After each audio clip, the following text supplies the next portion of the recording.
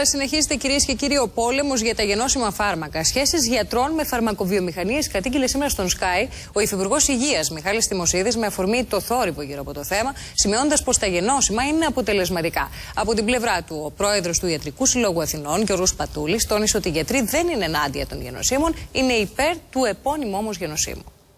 Τα γενώσιμα φάρμακα είναι φάρμακα εξίσου ασφαλή και εξίσου αποτελεσματικά. Με τον πλέον ξεκάθαρο τρόπο, ο Εθνικός Οργανισμός Φαρμάκων διαβεβαιώνει για την ασφάλεια των γενοσύμων φαρμάκων. Είναι φάρμακα τα οποία παράγονται, όπως όλοι ξέρετε, όταν λήξει η πατέντα ενός πρωτότυπου φαρμάκου και οι εταιρείες έχουν μετά την δυνατότητα την ίδια αυτή δραστική ουσία με τις ίδιες αυτές ακριβώς θεραπευτικές ιδιότητες να τις παράγουν υπομορφή αντίγραφων γενώσιμων φαρμάκων. Οι περισσότερες ευρωπαϊκές χώρες καταγράφουν σημαντική αξιοποίηση των αντιγράφων φαρμάκων αφού μόλις χαθεί η πατέντα του πρωτοτύπου. Οι τιμές τους πέφτουν κατακόρυφα με όφελος οικονομικό για τον ασφαλισμένο και το κράτος, χωρίς ωστόσο να αφήνεται κενό για την προστασία της δημόσιας υγείας.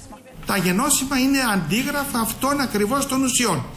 Δεν διαφέρουν σε τίποτα παρά μόνο στο ότι συσκευάζονται έχουν την άδεια να συσκευαστούν από όχι αυτούς που το πρωτοπαρήγαγαν, από άλλες εταιρείες. Γενώσιμα φάρμακα έχει συνταγογραφήσει στο παρελθόν και ο Υφυπουργός Υγείας Μιχάλης Τιμοσίδη ως γιατρός παθολόγος. Θα παίρνατε γενώσιμα. Κύριε Λιρτζή, εγώ επειδή είμαι και γιατρός, το έχω συνταγογραφήσει. Μα το ρωτάω επειδή είστε και γιατρός γι' αυτό. Και θέλω να σας πω ότι έχει ελληνικές φαρμακοβιομηχανίες, ναι.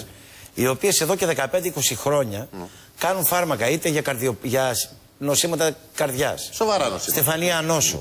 Εξακολουθεί ωστόσο να αντιδρά στη συνταγογράφηση της δραστικής ουσίας και των γενοσύμων φαρμάκων ο Ιατρικός Σύλλογος Αθηνών. Κύριε Πατούλη, καταλαβαίνω αυτό που λέτε ότι διαφωνείτε ο φαρμακοποιός να έχει την τελευταία κουβέντα στο γενώσιμο που θα δοθεί. Ο γιατρός, γιατί έχει πρόβλημα να συνταγογραφήσει τη δραστική ουσία και όχι το εμπορικό φάρμακο. Πείτε μου επί της ουσίας.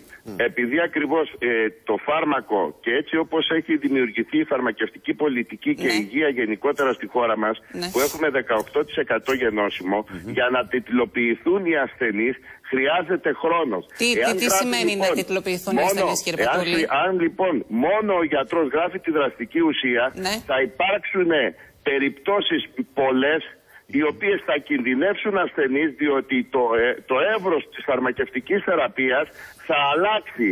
Το σχέδιο νόμου στο οποίο περιλαμβάνεται η πρόβληψη για συνταγογράφηση δραστικής ουσίας και γενοσύμων φαρμάκων ψηφίζεται από την Ελληνική Βουλή το βράδυ της Τετάρτης.